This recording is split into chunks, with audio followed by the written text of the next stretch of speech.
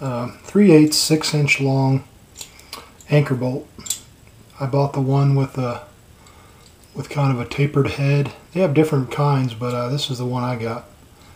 And just so happens uh, you can use this similar to like how you would use a uh, like a blind hole bearing puller.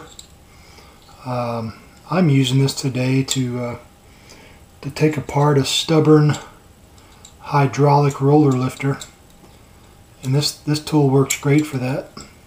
Uh, here's my little tool. I'm gonna set my tool pieces here so I don't get anything mixed up. Got my little cup. To be taking this apart. Uh, got the spring, I mean the little clip. Throw the clip in there, pop that out like that. Throw that in there. I'm going to wipe this up.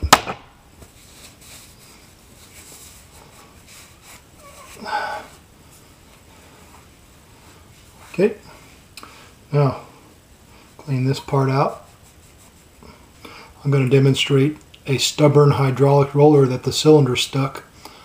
Uh, like I said, you can use compressed air, bearing puller, uh, a hook. Some people use a push rod, stick in there and pop it out. But what I like to do is I, I just go buy a $2, a $2 3 8 anchor bolt. Okay, I got my little cylinder. This thing's not coming out, so I'm going to use this puller. This little uh, $2 anchor bolt puller, I call it. Uh, it's a 3 8 Going to just stick this part till the bottom's out. Now I'm going to stick the expanding part, part that actually expands out and grabs the sides. Stick this in, push it in as far as it'll go. You're not going to be able to push past that because it's kind of a tight fit, so you're going to need some pliers. Grab that plier, hold it in your hand and just push down until you hear it bottom out. If you listen, you'll hear it. That was perfect. Okay, now you take your sleeve, slip your sleeve on, and screw this part on.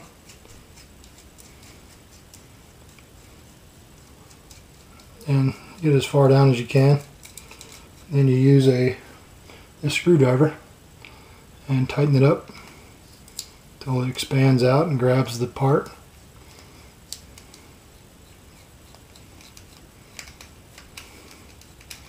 A little, little tension now, that, that ought to be good. Okay. Now you take your, uh, it's the tool, it's in there. It's this part's expanded out. So now you just take your pliers, you make them like that so that you have, you can slip it over the shaft. I'll hold it sideways and you just just go hammer it out.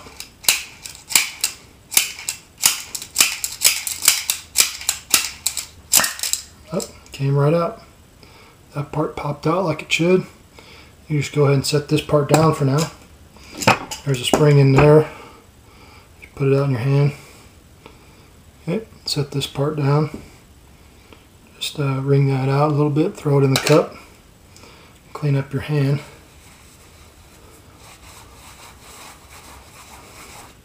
Okay, now while this tool is on the end here, you can take this apart, just unscrew this part,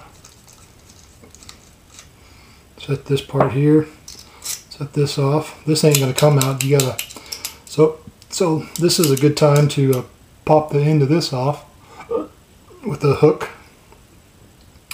And you just look at it, find the slot, and pop that off, throw it in your bowl, there's a little steel ball. A little spring is inside here. You want to take that out. Set the spring there. Pop that there. Give this a quick wipe down. Okay.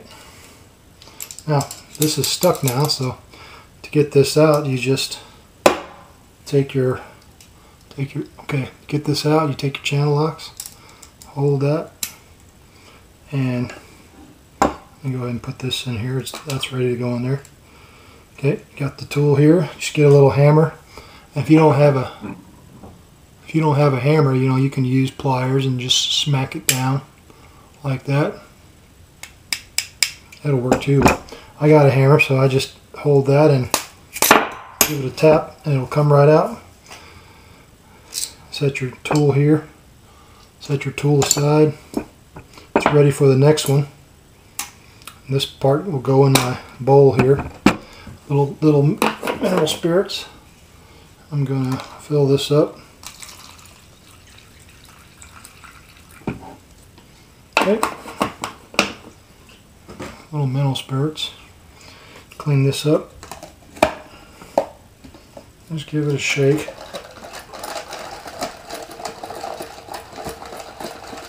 And you're done.